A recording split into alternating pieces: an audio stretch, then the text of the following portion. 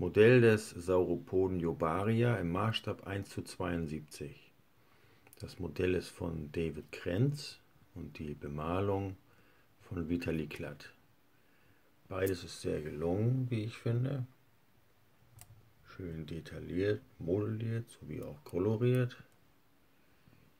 Auch diese kleinen Diorama-Pflänzchen sind sehr schön und runden das Gesamtbild sehr schön ab. Weitere Infos findest du bei uns im Shop. Einfach auf den Link klicken und hier nochmal wieder ein Größenvergleich mit Apfel.